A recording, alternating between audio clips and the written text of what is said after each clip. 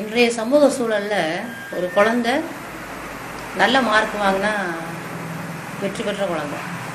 அது யதார்த்தமாக இருக்குது அப்போ இந்த குழந்தை மார்க் வாங்குறதுக்கு என்ன செய்யறது? அறிவாக தெரியுது ஆனால் மார்க்கை பார்த்தா க குறைவாக இருக்குது மதிப்பெண் குறைவாக இருக்குது இதில் பள்ளி பள்ளிகள் வந்து என்ன செய்ய முடியுது அப்படின்னா இந்த மதிப்பெண்ணுக்கான ஒரு ஓட்டப்பந்தயத்தில் மதிப்பெண் வாங்க முடியாத குழந்தைகளை வந்து பெருசாக கவனிக்க முடியறது இல்லை அது ஒரு அந்த உண்மையை பார்க்க வேண்டியிருக்கு. அப்போ மதிப்பெண் வாங்க முடியாத குழந்தைக்கு என்ன மாதிரி உதவி பண்ணலாம் அப்படின்னு சொல்லி பார்க்குறப்ப அப்போ இந்த குழந்தைக்கான ஒரு ஐக்யூ டெஸ்ட் எடுத்துட்டு வாங்க. இந்த குழந்தையோட இன்டெலிஜென்ட் கோஷன்ட் எப்படி இருக்குது? அதன்படி குழந்தை என்ன செய்யறதுன்னு பார்க்கலாம். அப்படின்னு சொல்லி பார்த்தா ஒரு குழந்தை ஏழாவது படிக்குது. அப்போ ஒரு பதிமூணு வயசு வச்சுக்கோங்க. பதிமூணு வயசு குழந்தைக்கு எட்டு வயதுக்கான மென்டல் ஏஜ் தான் இருக்கு அப்படின்னு ரிப்போர்ட் வருது. அப்போ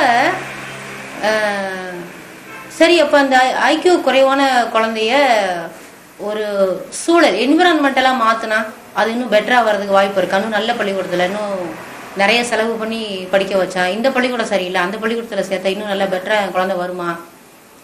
அப்படிங்கிற கேள்வியும் பெற்றோருக்கு இருக்கு. எவ்வளோ செலவு பண்ணாலும் பரவாயில்ல. இதில் ரெண்டு கருத்து இருக்கு.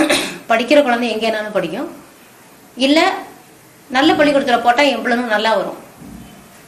அப்போ நேச்சர் வெர்சஸ் நர்ச்சர்ன்ற ஒரு ஒரு கருத்தை வைக்கிறாங்க. இந்த- இந்த மாதிரியான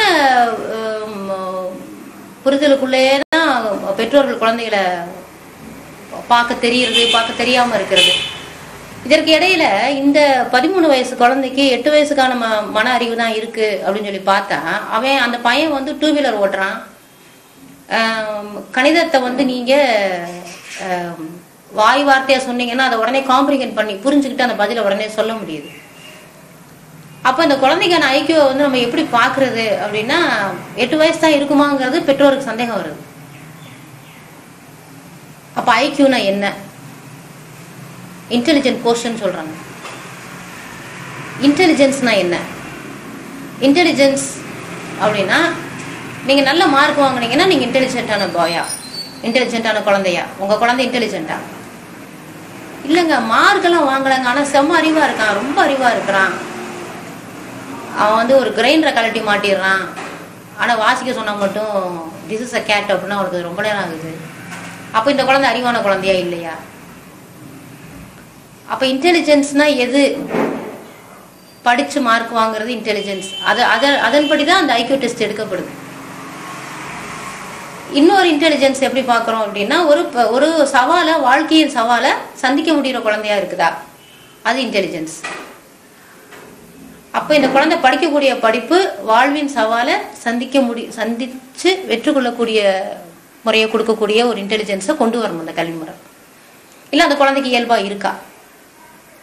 மூணாவது ஒரு இன்டெலிஜென்ஸ் சொல்றது வந்து ரொம்ப பெரிய அளவுல நீங்க இயற்கை அப்படின்னு நீங்க உங்களை புரிஞ்சுக்கிறதுக்கான இன்டெலிஜென்ஸ் இப்போ நம்ம அவ்வளவு பெரிய லெவலுக்கு நம்ம போகாட்டாலும் இந்த குழந்தைகள் பற்றிய இரண்டு இதை நம்ம புரிஞ்சுக்க வேண்டியிருக்கு ஆல்ஃபிரட் பீனே வந்து பீனே டெஸ்ட் வந்து நைன்டீன் நாட் ஃபைவ்ல இந்த குழந்தை பள்ளியில வெற்றிகரமாக இருக்குமா அப்படிங்கிறதுக்கு மட்டுமே எடுக்கப்பட்ட ஒரு டெஸ்ட் வடிவம் சொல்றாங்க.